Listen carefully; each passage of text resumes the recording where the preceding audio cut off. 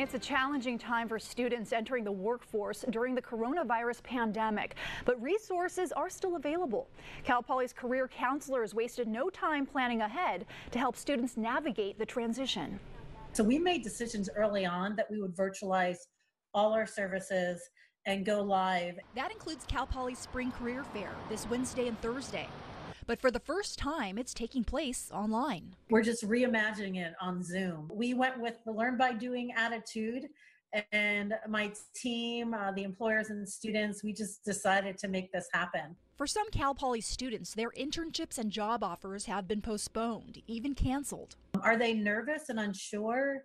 Yes. Obviously, we're seeing a drop off in non essential retail entertainment, um, hospitality. But opportunities still exist. 66 companies are registered for the event and they're looking for talent. Cal Poly is one of my top schools for recruiting.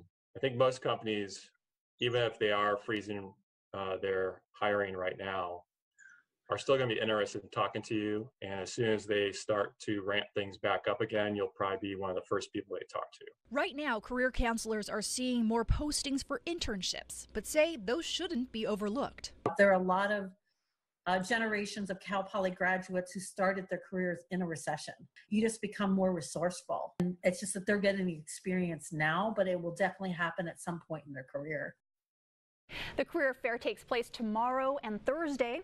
Students can find a list of registered employers on our mobile app and website.